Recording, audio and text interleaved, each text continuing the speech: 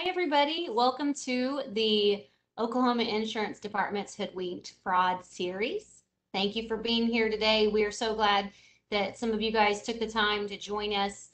Um, I am Adrienne Selvage. I am part of the communications team at the Oklahoma Insurance Department, which we'll sometimes refer to as OID. We are a state agency, so we do not sell insurance. Our job is to help the consumers if they have questions. If you have questions about your home, your auto, your health, um, you don't understand a claim denial, or you just don't understand your policy, you can always call us. We have a whole team that's here to help. Um, and then we also regulate the industry to make sure that the insurance companies um, are able to fulfill the promises they make whenever you get those policies. So that's a little bit of what we do. Wanted to tell you during this event, we're going to have some speakers and you'll be able to see and hear them, but we cannot see and hear you. So if you have any questions, and we hope that you do, you can put them down in the chat box. It's going to be on my screen. It's on the bottom right hand side. There's a little box and I will say hello to everybody in a minute so you can see it. But if you have any questions, please type them there. And if you have a question for Ray or Mykel, then we will get to those at the end. So um, let me introduce um, Ray Walker. Ray Walker is the director of the Medicare Assistance Program at the Oklahoma Insurance Department. He has more than 20 years experience working in and around the healthcare industry, primarily in insurance. Mr. Walker has had the privilege of speaking to people all over the state. He currently serves on the advisory committee to the State Council on Aging and recently completed his second term on the SHIP Steering Committee, where he serves as vice chair of the SHIP Steering Committee, as well as the Leadership Council for the MIPPA Grant Program. All right, Ray, I'm kicking it over to you. All right. Thanks, Adrienne. Good morning, everybody. Uh, we're really grateful that you could come and join us today, and we think you're going to find this very, very interesting. Mykel spoke for us last year, and I learned a great deal of information in terms of uh, what I can and can't do to help my loved ones. But before we get into her presentation, I wanted to remind everybody we still have several more events coming up.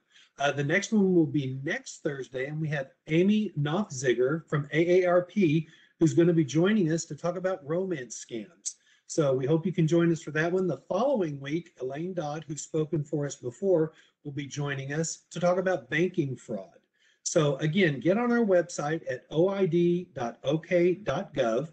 and take a look at those and, and you can register for all of them or just the ones that you want to attend. We'd really like to have you join us for those events.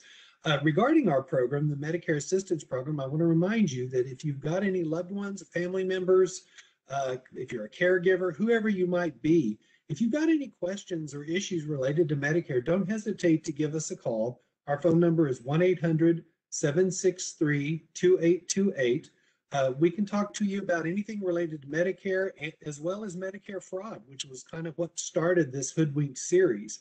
Uh, we want to make sure that our seniors are well prepared. They're armed to protect themselves in the case somebody contacts them trying to get information that they shouldn't have. So let's go ahead and get into our presentation. I want to introduce Mykel Fry. Uh, she is the uh, she leads the Fraud Prevention and Prosecution Division of the Oklahoma Attorney General's Office. This division is comprised of the Medicaid Fraud Control Unit and the Workers' Compensation Insurance Fraud Unit. Mykel began her legal career in the Oklahoma County District Attorney's Office, where she prosecuted juvenile delinquents. She transitioned to the adult system where she prosecuted felonies, including general felonies, drug offenses, youthful offenders, gang related offenses, and capital murder. Mykel joined the Attorney General's office as an advisor to the multi county grand jury in 2009, and in 2011, Ms. Fry was selected to lead the Medicaid Fraud Control Unit. In 2019, Attorney General Mike Hunter created the Fraud Prevention and Prosecution Unit and added the Workers' Compensation and Insurance Fraud Unit to it. So Mykel, we are so glad you could join us today, and I am going to shut up and let you do your presentation. Right. Well, thank you, everybody. I um, let me let me share my screen here just a little bit, and we'll get started. Um, as Ray said, I um, I'm a deputy attorney general for um, the Oklahoma Attorney General's office. Um, your attorney general is Mike Hunter. Um, he was elected a couple years ago. Um, I oversee the Medicaid fraud and the workers' compensation insurance fraud units. Primarily today, we're going to talk about what the Medicaid fraud control unit does. It is more um, situated for, uh, you know, investigation and prosecution of Medicaid fraud and elder abuse. And so uh, what we do is Medicaid, not Medicare. Like Ray said, he does Medicare, we do Medicaid. Um, the unit was um, established in 1989. Uh, we prosecute not just Medicaid fraud. So we do investigation into abuse, neglect, exploitation, um, and the abuse can be sexual, verbal, physical abuse. Um, and our funding is seventy-five percent federal funding, so we get a grant. And the other twenty-five percent is, um, is what we call, uh, state share. And currently, um, the unit is funded by, um, civil settlements. So, um, those, the, the defendants that commit Medicaid fraud, we get that money. And essentially what that means is the Medicaid fraud control unit does not cost the state any money. Um, it is, is self-funded for the most part. Um, we have jurisdiction in all seventy-seven counties. Uh, we have offices in Oklahoma City and Tulsa. The Medicaid unit, um, is, investigates and prosecutes providers. So not recipients, um, generally not recipients. Um, for our abuse section, it is primarily caretakers. So um, the caretaker of an elderly or vulnerable adult in a boarding care facility. Boarding care facilities will, we will, uh, define here in just a minute. We also can investigate abuse and neglect in a residential setting. Um, so if somebody's home, so, you know, your address. Um, if that abuse and neglect is a Medicaid recipient, if the victim is Medicaid recipient and it's in the, um, in, as, as a provision of healthcare. So you might think of it as a, um, you know, a, a personal care attendant or somebody like that is not only, maybe they don't show up for work and um, the individual is um, left without medicine or food or, you know, so there's a, a neglect or abuse in that area. So we actually file the two, two claims. One is for the Medicaid fraud and the other is for the abuse or the neglect.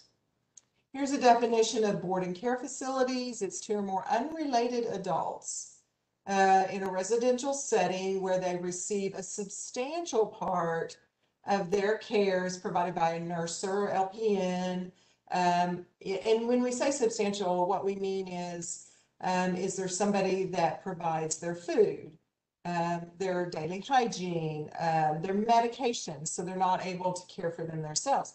And so in the past, that has traditionally been known as a nursing home. But in some cases, a, a, an assisted living facility might, might fall under those circumstances. A veteran center would fall under those circumstances. So um, it's not just uh, nursing homes. And we have a full staff. We have agents in both Oklahoma City and Tulsa. That, that's, that's their dedicated work. That's what they do all day, every day. Um, so they are what we would consider the state's expert on this type of, of uh, abuse or neglect. Um, so when we talk about abuse and neglect, who are we talking about? Um, we've got an elderly person in, by statute, is anyone who is over 62 or 62 or over.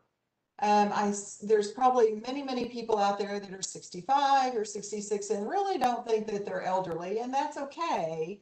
Um, but by statute, they would fall under this, and there's a special provision in law for that.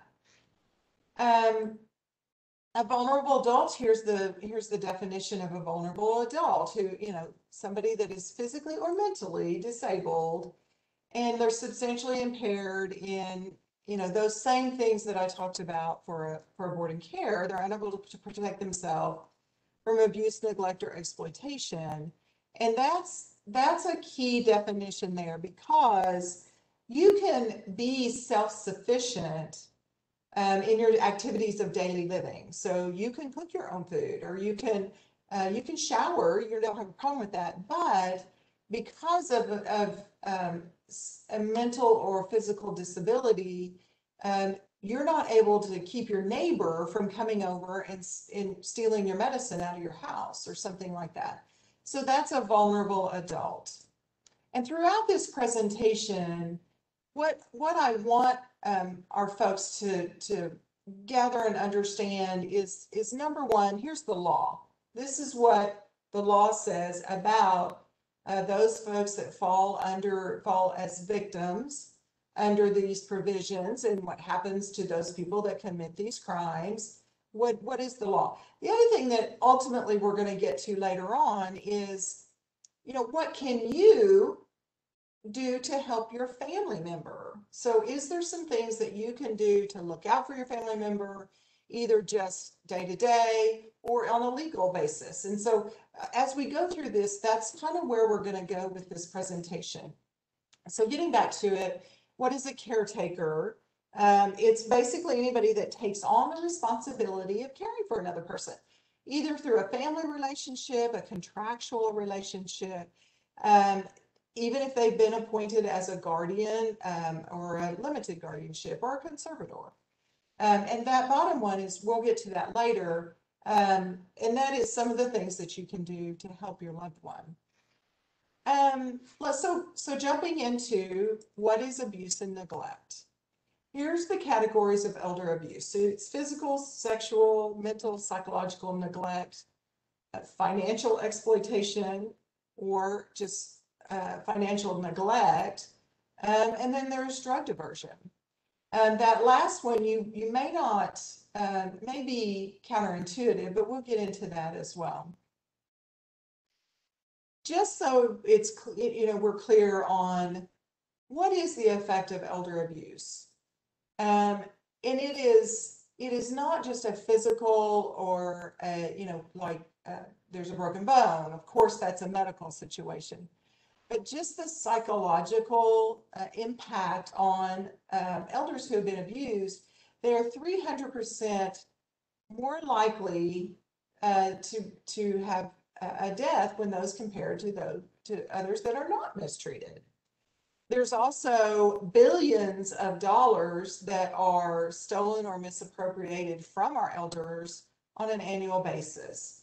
I believe these statistics were actually a couple years old, so it could be even worse than what it is now. Um, so what is abuse? It's causing or permitting, um, and that permitting is important. Um, the infliction of pain, um, injury, sexual abuse.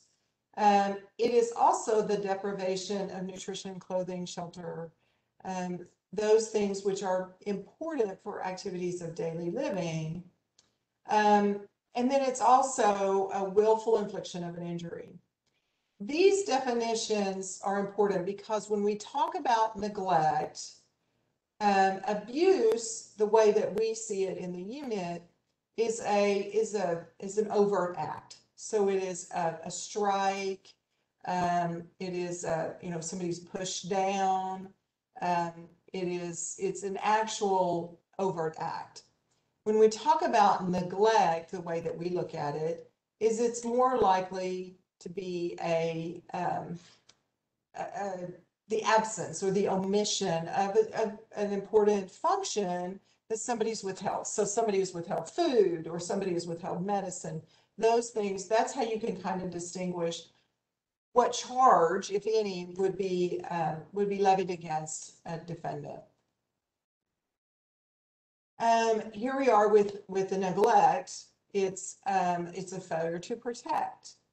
It's a, it's a, you know, failure to give adequate shelter, clothing, food.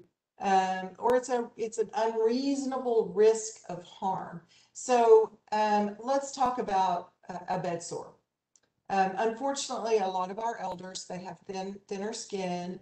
And when they're laying in bed or sitting in a chair, um, mobility is an issue for them, then they can get what's called a pressure ulcer and, and, you know, um, it's commonly called a bed sore. Um, if, if a person is in that situation and let's say they, they have some pressure sores, and let's say the bedding has not been changed for a while, so there's a chance of um, germs or diseases that could get into that sore, or the sore is not cared for. Um, even though it, it may not have caused any, you know, the resident didn't actually go septic, but there was that risk because somebody didn't take care of that person. That's, that's a neglect. Um, caretaker financial exploitation. This is another one that um, is, I think, um, underreported or the individual, the, the loved one has actually passed before somebody realizes that there's an exploitation going on. And we'll talk about that in a little bit, kind of the signs that you can see on, on how to, how to um, see those red flags and perhaps act on them. But exploitation is the unjust or improper use of somebody else's resources or the elder's resources. Um, it, it's for a profit, a, a pecuniary gain, or um, just for somebody else's use without authorization. When you talk about a caretaker in a, a board and care facility, um, that's going to be on every occasion. A, a, a caretaker in a facility cannot take even one dollar or more than one dollar from an individual, we'll talk about that in a minute. Um, let's talk real briefly about stimulus checks because that's in the news lately and, and has been for a year now. Um, we get a lot of calls on this. So um, those folks in a nursing home get their stimulus checks. If they're on Medicaid, they must, there's a, there's a limit on um, how much funds a Medicaid recipient can get or can keep in their, in their bank account. So stimulus checks will, um, uh, are um, deposited into those trust funds, but they are not used when um, determining uh, Medicaid eligibility. They, um, if after a year those funds are not used, then yes, it can actually play into there. But for now, you know, when you first get it, um, your loved one is entitled to that money, and that's their money. They can spend it however they want. They can give it to whomever they want. It is their money, and nursing homes or long-term care facilities cannot use that money to pay their, you know, to uh, pay the room and board fees unless it is authorized by the resident or their loved one. So um, we had several um, uh, complaints that the nursing home was keeping the money and wasn't giving it to the resident. There were a couple of times when we actually said, yeah, that's probably okay. And I'll give you an example. One of them was a gentleman that um, was mobile. He was able to leave the nursing home and come back. And he um, would go out and get uh, bottles of alcohol.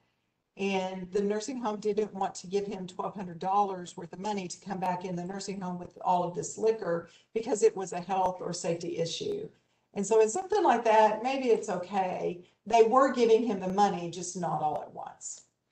Um, so in other words, so the, the moral to this story is definitely um, the money belongs to the resident or the recipient of the money, but they need to spend it within a year if they're on Medicaid. Otherwise, it will count against them in um, as far as receiving, continuing to receive Medicaid.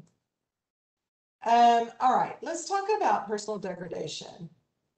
This came into effect November 1st of 2019, and I want to bring it to everybody's attention because um, in this day and age of social media, this particular uh, conduct has really become more egregious. And what that is, is a caretaker that does something to shame, degrade, humiliate, or otherwise harm the personal dignity of a, a vulnerable, a vulnerable adult.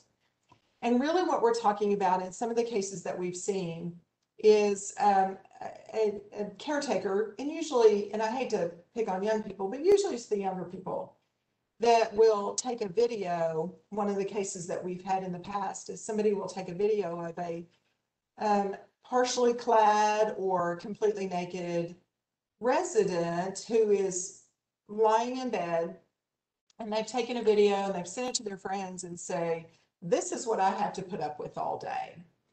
Well, the individual in the in the video um, was not necessarily uh, co- uh, uh, cognizant of what was going on, but it doesn't matter. If that would embarrass you or I, then it's a crime. And the way that it's charged is abuse. So this is just a form of abuse.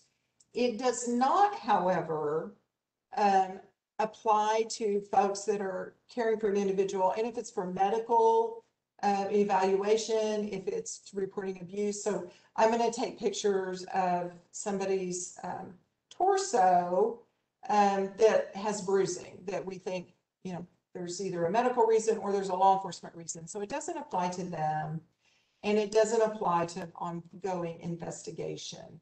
Otherwise, um, we don't take videos of our uh, adult residents and post them on Facebook or Twitter or some other uh, social platform. Now let's talk about drug diversion. So we, we talked about that earlier. Um, why is drug diversion an abuse? Because uh, right here, what it says is it's basically rerouting or using a, a legal drug for an illegal purpose. Um, the medications that are most commonly stolen are what we call PRN, and those are as needed. So PRN means as needed. And the and primarily those drugs that are diverted, and it's probably no surprise to anybody, is it's the hydrocodone, oxycodone, uh, the Duragesic patches, which is fentanyl, and uh, morphine sulfate. That's a liquid. And um, those are the ones that are more because those are the most addictive drugs that generally the most addictive drugs that are available in a nursing home or a, a boarding care facility. And one of the things that we um, that we talk about in um, in drug diversion is is so as an example of something that is um, that has happened in the past on drug diversion. Um, you know, you get somebody that has a, a pill pack. It's a generally it's 30 counts or 30 pills in this in the pill pack, and the whole pack will go missing. Or um, you know, some drugs, this is the worst for me, this is what's worse, is those pills will be popped out and then somebody will replace them with say aspirin or something that is not helpful for pain. And so the resident is is given that drug um, you know, an aspirin when in fact they need a high dose of oxycodone. So their pain, it does nothing for their pain. And, you know, we've heard over the years of, um, it didn't happen in Oklahoma, I think it was South Carolina, where there was a stage four cancer patient who um, her morphine was, uh, and her pills were being replaced by uh, saline and uh, the pills were being replaced by just aspirin. She was in excruciating pain because of the cancer and was not getting any relief. So that's why we say drug diversion, even though it is the, the legal term for it is larceny of a controlled dangerous substance, it can also be charged as abuse. Um, so let's go on to verbal abuse. Verbal abuse is language, gestures, actions, or behaviors that are caused uh, for shame or degradation. This is different than a um, what we call the personal degradation. Mostly it is somebody is um, basically yelling at somebody, you know, a caretaker is yelling and saying you're a horrible person and you're you're worthless and I don't know why you're still here and you know awful things like that. And um, and so that's what we call a verbal abuse. Um, so let's talk about the signs that you can attribute to those different acts. Um, we've got signs of abuse or neglect. Um, when your loved one has an outgoing, vibrant personality and all of a sudden they're withdrawn Um, they won't look you in the eye. Um, you know, there's uh, bruises, bumps, broken bones that are unexplained. And so let me let me talk a little bit about nursing home falls. I know that um, it seems um, it seems almost cruel, but nursing home residents are um, allowed to fall. That they because the alternative, you get folks, you know, you, the nursing homes need to take care if they need a walker, they need a wheelchair, or they need help with mobilization to go to the bathroom. They have to help.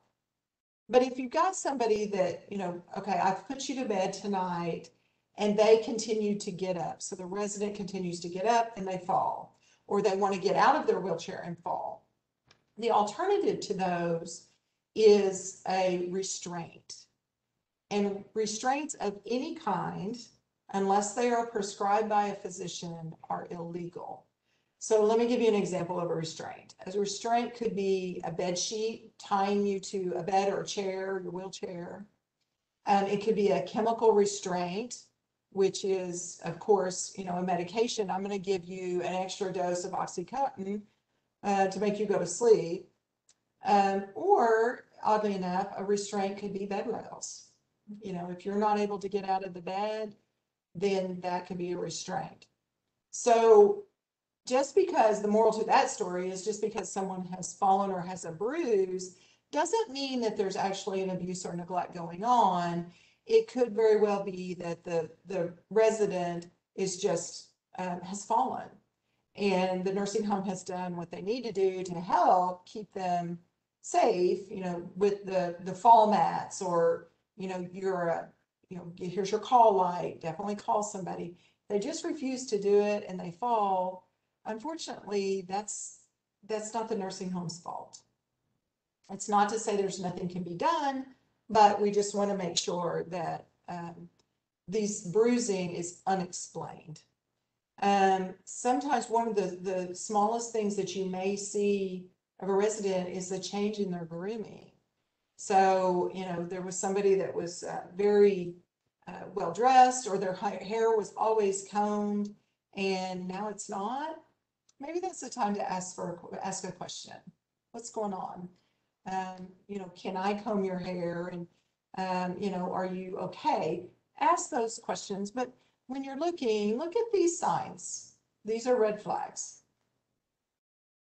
Signs of sexual abuse, unfortunately, it happens. Um, so look for bruising in the inner thigh area, in the vaginal area, or, or groin area. Um, if there is stained or bloody clothing, take a look at that. Now, keep in mind, um, a severe, um, urinary tract infection will sometimes cause bleeding. So again, we're talking about, un, you know, unexplained. Um, and then sometimes our elders will report that, um, you know, there was somebody that came in their room, they don't know who it is, but somebody came in their room last night and touched them inappropriately. Um, there's uh, another, and it kind of goes back to the abuse and the neglect as well. When you, when your loved one um, is not looking at you like they used to, or um, they are um, they won't, you know, a, a regular caregiver or a person that they normally visited with walks in their room and they immediately shut down.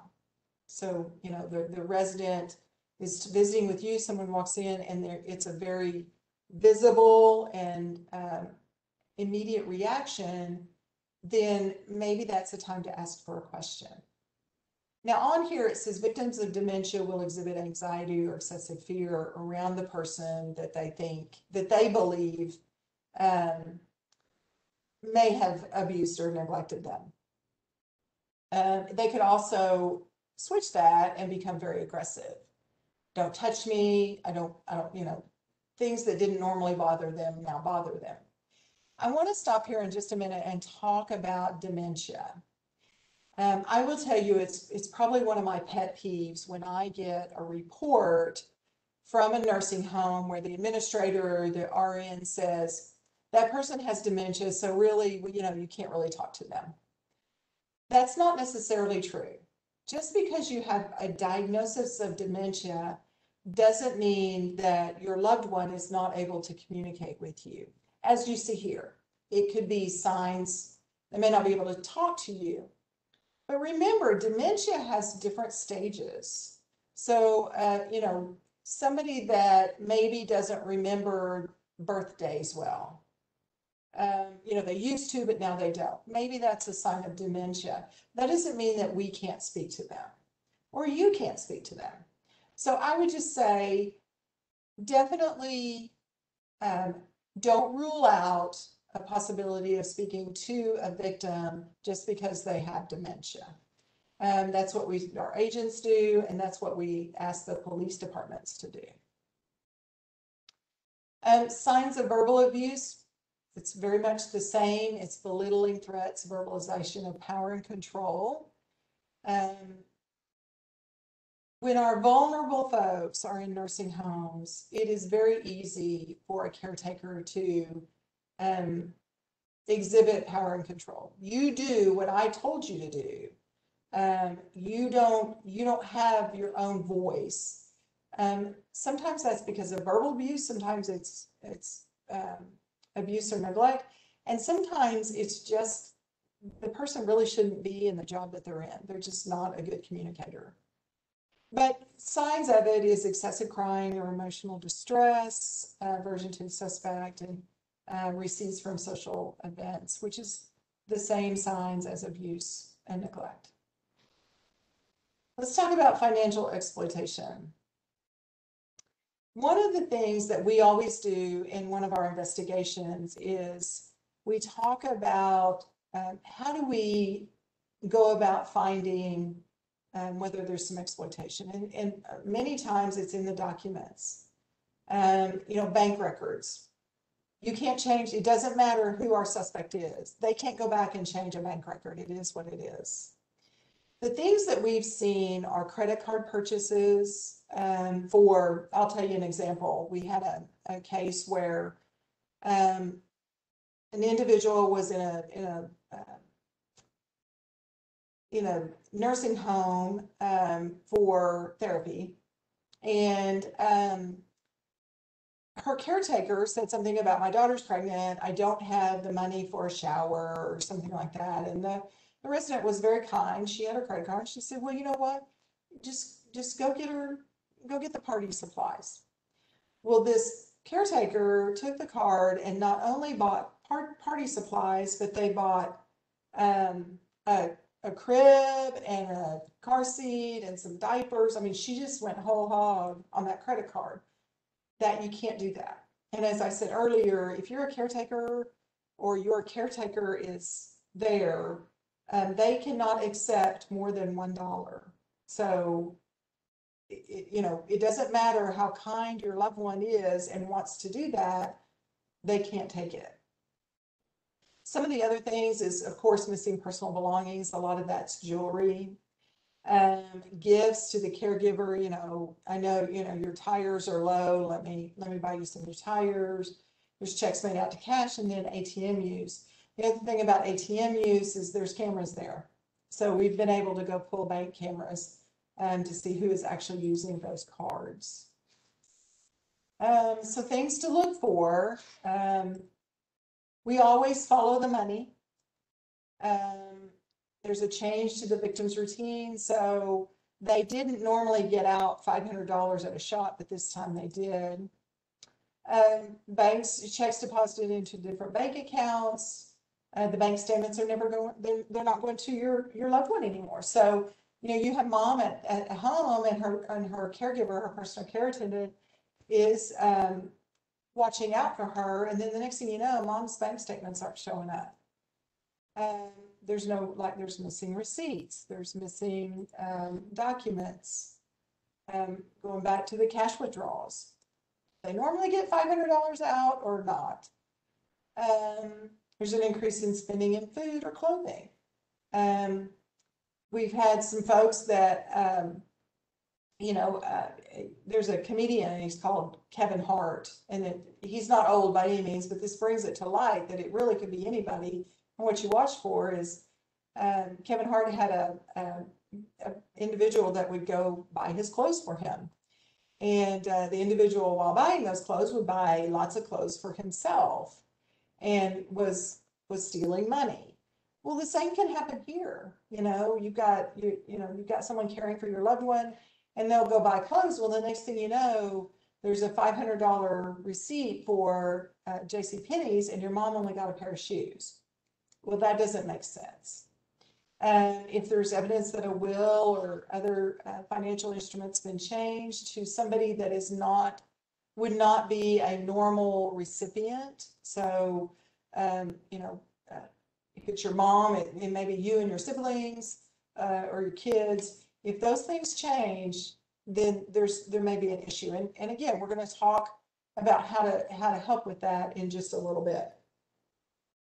Um, and then going back to the victim didn't receive any benefit from spending the money. Um, so let's talk about just briefly the punishment for these types of offenses. Um, abuse, neglect, and exploitation, it is, it is upon conviction, could be in the penitentiary for up to ten years, so zero to ten years. Um, and it's up to two, that's for caretaker, and it's up to two years um, for a non-caretaker. So just anybody that, um, you know, a family member or a neighbor, even though they don't care for the loved one, um, if they're, if they've abused a vulnerable adult, it could be up to two years. There's a fine and it could be prison or both. The important thing about this is, um, it's an eighty-five percent crime. And what that means is the individual must serve at least eighty-five percent of their term in the prison uh, prior to getting, uh, being eligible for probation or for, um, good time credit. Um, it is also, um, they also must serve, and that's a must, serve the first thirty days in county jail. Um, so even if they get probation, if they say, okay, you're gonna get a deferred or, a- or a, uh, suspended sentence, you still have to go to jail for thirty days. So that can be served on weekends rather than just a straight thirty. So it's a pretty substantial penalty for this. The same thing goes for, um, sexual abuse, except the term is up to fifteen years. Um, and they have to then register as a sex offender, which is even worse. Um, exploitation of the elderly, it depends on, um, the amount of money stolen. So if we're talking about a hundred thousand dollars or more, and in, in my term as the, as the director of the Medicaid fraud unit, we had somebody that transferred a house. They had somebody in the nursing home, um, another individual, an outside individual, did some research, found out this person owned a home, owned this home, um, went to the nursing home and got the administrator to sign it over, sign over the deed. Um, and the nurse, and the the, uh, administrator, out of the goodness of his heart, gave the resident two thousand dollars, but the rest of the house was sold at a sheriff's auction and, and, uh, was then sold to another person. So yes, more than hundred thousand dollars can be stolen. Um, if it's, and that term is up to fifteen years. If it's less than a hundred thousand, then it's, uh, up to ten years. A verbal abuse is a misdemeanor. So all- if all you're using is words, uh, then it is, it's, uh, can be charged as a misdemeanor. And it's, uh, up to one year in county jail and up to a thousand dollar fine or both. So here we are at the drug diversion, and I told you earlier that um, stealing someone's drug, the technical term is larceny of a controlled dangerous substance. The conviction is up to ten years, um, and uh, you're convicted of a felony. The other charge that could happen and has happened in a nursing home is obtaining controlled dangerous substance by fraud. Um, if you think about it outside of a nursing home, if you've got a doctor whose prescription pad was stolen, somebody fills it out and takes it to a pharmacy, that's obtaining by fraud. In a nursing home, generally that's going to be somebody has called uh, the doctor and said, Mrs. Jones is out of her uh, her as needed drugs, her morphine or her um, fentanyl patches, uh, we need to order some more. And when they're ordered, they ne- they either never make it to the nursing home or they are, uh, you know, once they're put on the cart, they're stolen. And, and so um, it's the calling in of the prescription using a false name or using um, false information. That's obtaining it by fraud. And that's a zero to 10 as well.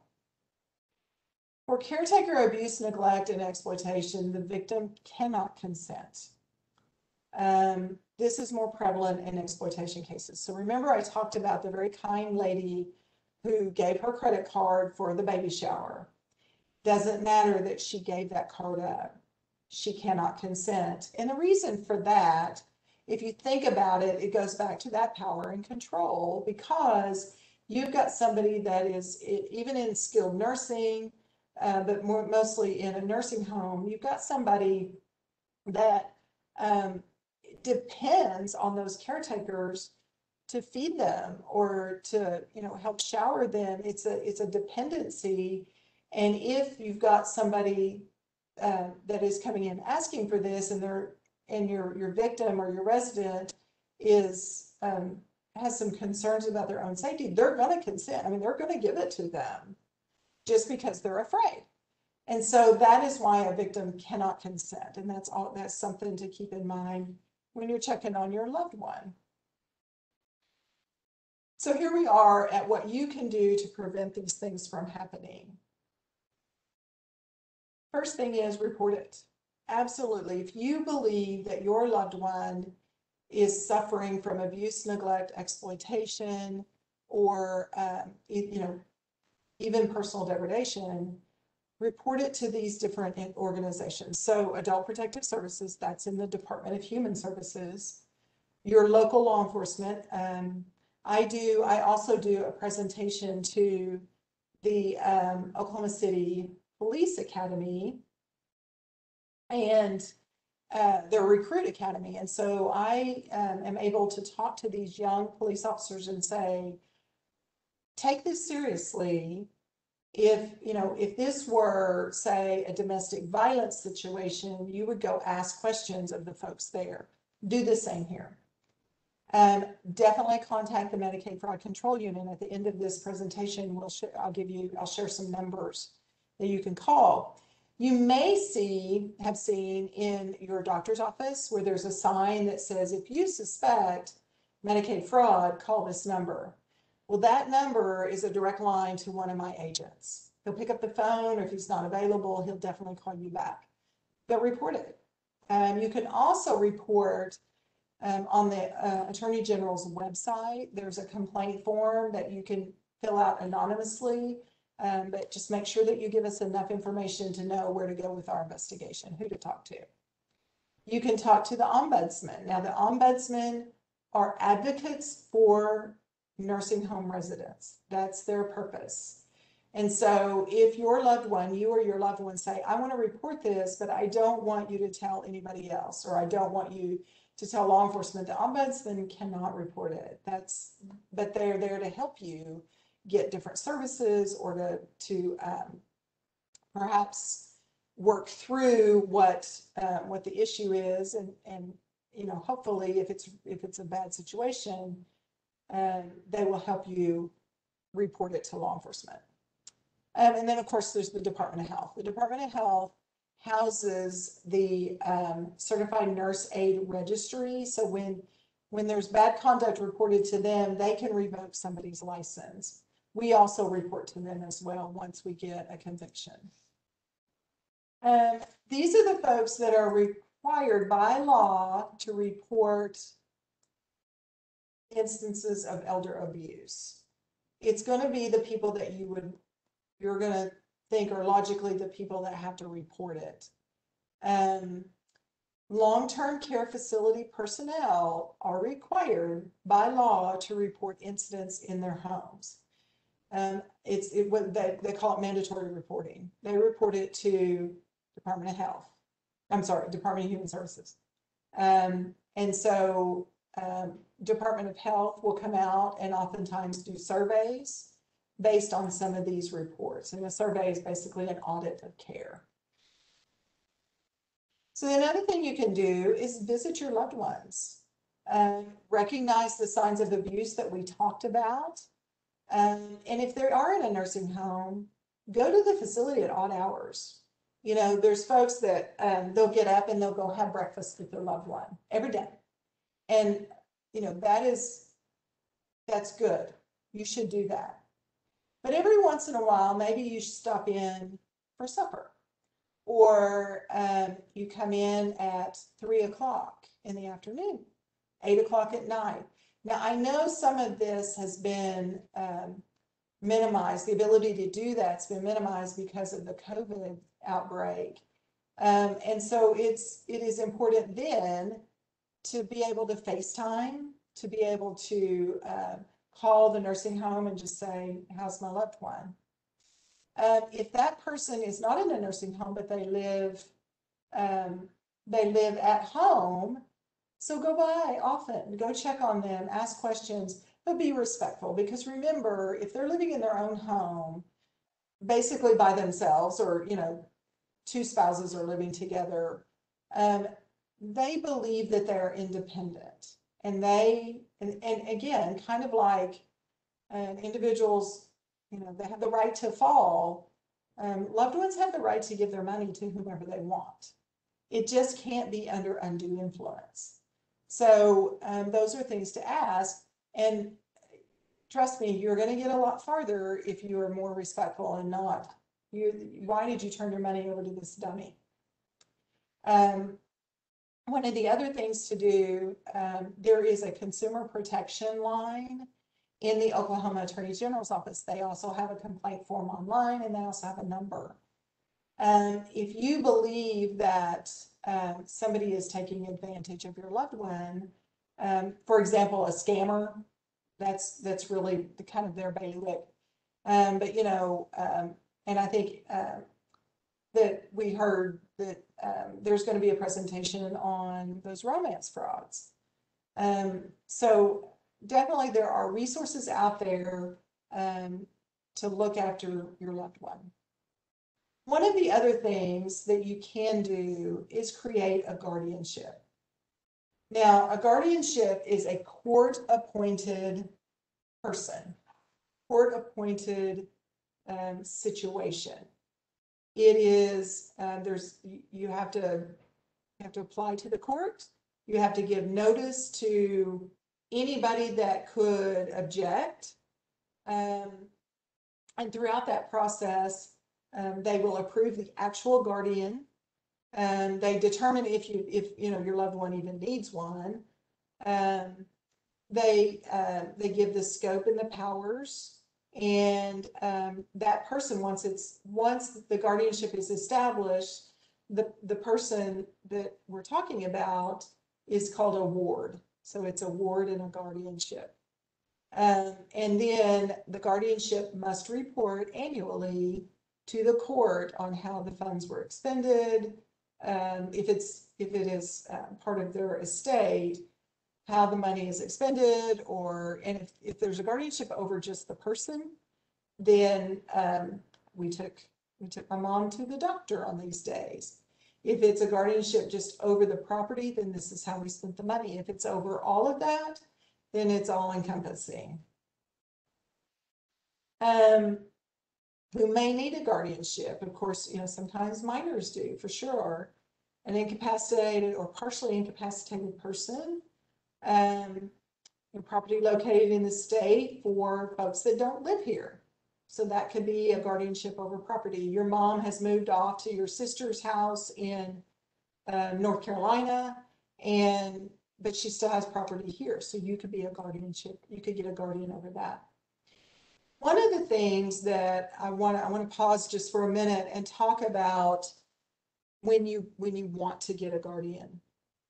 Um, and it kind of goes into the romance scams, but you know, we see a lot where we've got an elderly person who lives in their own home and they get attached to a younger um, starts out as a caregiver, but a younger person. And the next thing you know, they're married. And unfortunately, in Oklahoma, um, there's not a lot we can do about that because once they become married, generally without a prenuptial agreement, it becomes community property. So when that happens, if you see your, your loved one growing attached to an individual that, you know, doesn't seem right, you know, that situation just seems weird. Not all situations are weird, but if this particular one does, then there's a, there's a, you can go get a guardianship. Um, the other thing you can do is go get a power of attorney. So when we get a guardianship, um, there's a general one which you just have complete authority over the ward, the property, the both. There's limited, we talked about that, it could be over the property, or there's a special one. And this is one that's effective for just thirty days, which may be what you need um, to sort out this romantic situation.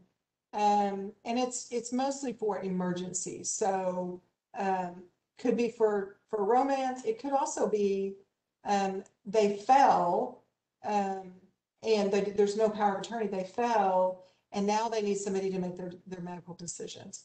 So it could be something like that. And they're not, they're not able to, uh, formulate a power of attorney. So there are different powers of attorney. There is, uh, there's the durable, this is statutory. A statutory power of attorney, attorney is, is more used, used more for, um, if you're gonna buy a car and say you and your spouse are gonna buy a car and, um, they're not available, so they'll give you a statutory one for that one single purpose. I need you to sign, it's okay for you to sign on these papers to get this car. Power of attorney can be uh, conveyed at any time. It can be as expansive as you want. Uh, it can start at any time. So uh, my parents live at home. They're perfectly capable of taking care of their own uh, financial and healthcare needs, but I am their power of attorney right now. So is my sister. Um, so they don't have to be what we call incompetent. And uh, sometimes that term incompetence, it seems offensive, but what it basically means is they're just not able to take care or make their own decisions. Um, again, like, like a, a guardianship, it, the power of attorney can be over whatever you want. The difference between those two is a power of attorney can be conveyed at any time. It can be with, withdrawn at any time. You can transfer it to anybody you want to transfer but it must be done while you are competent or while your loved one is competent. So you've got somebody that seems to um, be forgetful more than they were, um, but they still remember that you know who the president is and what their birthday is and some other um, questions that that are a good test for uh, competency. They can still do that. Maybe it's time to talk to them about a power of attorney um, my advice is if you have siblings or you, you know, you, you want to be able to visit with those, all of the family members and say, um, that, you know, we are, uh, we're, we're thinking about doing this. Are you okay? So those are just some, uh, for me, they're helpful hints or suggestions. Um, I think that we got some questions. Um, this is our contact information. We have, as I said, we have a Tulsa office, Oklahoma City office, so um, feel free to give us a call. All right. Excellent, Mykel. Thank you so much. That was, that was really good information. I learned a lot from that uh, that applies directly uh, to some of my family members. We do have a few questions that I want to get to. We've only got about six minutes left, but somebody chatted in, and it was actually one of the questions that I had written down. They asked, My family has suspected misconduct in the terms of theft at a nursing home, but is hesitant to report it for fear of retaliation toward our loved ones by the caregiver. What do you suggest in this type of a situation? So again, you can, um, you can certainly report it anonymously. I will tell you though, that if you suspect theft in a nursing home, the administrators and the, the executive caretakers are, are very cognizant of, um, how damaged that is, and, and they will do an internal investigation. If it looks like something has happened, they will suspend that caretaker. That person won't be around anymore to, to take care of your loved one. They can move them to a different hall if you still have some concerns. But, but please do not hesitate to report it to the nursing home or to us, to the Medicaid fraud unit. Okay.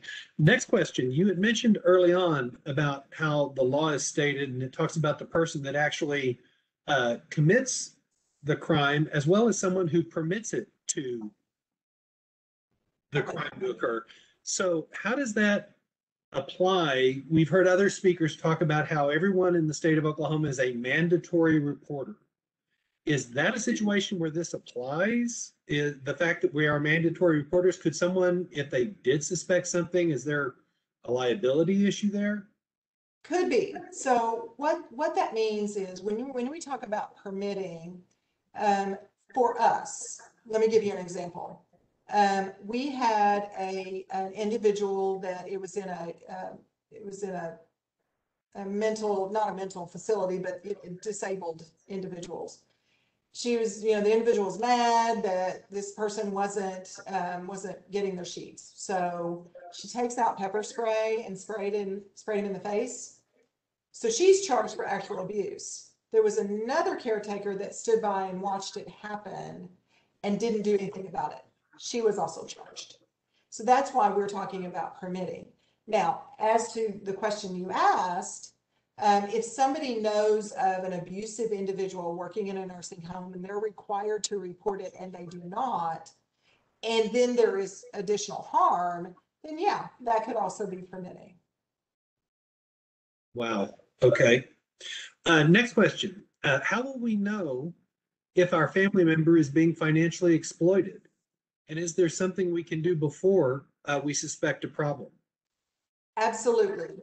So if your loved one will allow it, and again, if they're living in their own home and they're competent, they can spend their money however they want. You may not agree with them, but they can spend their money however they want. But if you want to take some safeguards, see if they'll let you be a signer on their account. And banks are really good, and I think um, when we, uh, Elaine Dodd will talk about it, but from my experience, banks are really pretty good about um, if you tell them, this is my loved one, I think there may be a possibility of some exploitation. Would you call me if you see any large purchases? And they'll do it. Um, the other thing too is get that power of attorney. Um, and make sure that because you are going to look after, you're going to help your loved one look after their own resources. And you have a, a document that says you can. Okay. All right. Well, I think we're out of time. Thank you so much, Mykel Fry, for joining us. I think Adrienne's got something she needs to point out. I do have one more question. I know we're running out of time, but I did get a private question. Okay. And we've got an individual whose son and daughter-in-law have become a caregiver to an elderly um, relative that is um, declining in cognitive abilities. And they are concerned because they've kind of discovered a mess. And the previous caretaker for this individual was a family member and they see debt commingled. So they feel like that previous caregiver has racked up some debt for a car, some credit cards. So what do you recommend they do in this situation? Well, so um, call local law enforcement. I'm assuming this individual lives in their own home. So call local law enforcement. Get the documentation now. So get a bank record, get those loan documents. Because remember, if you are a caretaker, you're a power of attorney, you're a guardian, you cannot misappropriate those funds for your own use.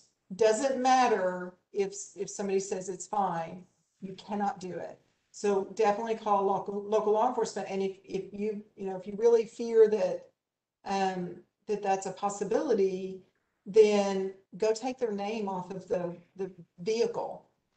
And, you know, if you've got a power of attorney for your loved one and somebody's got a vehicle in their name, go take their name off of it. you still have to put them on the loan, but you can take their name off of their car. And they asked, and I'm sorry that I don't know what this is, they did also say, um, other than a referral, referral to LASO, is there anyone else we can talk to? Are you familiar with what that is? I am not, is it, is it spelled L A? L A S O. I, I don't know what that is. Okay. All right. That's all that I had over here, Ray. Okay, thanks. All right, well, thank you, everybody, for joining us this week. Uh, hope you can be with us again next Thursday at ten AM when Amy Nofziger is going to be talking about the romance scams that uh, Mykel referred to. And then the week after that is Elaine Dodd. So please get on our website, oid.ok.gov, take a look at those opportunities and join us if you can. So look forward to seeing you next week. Thanks. Thank you. Have a good day. You too.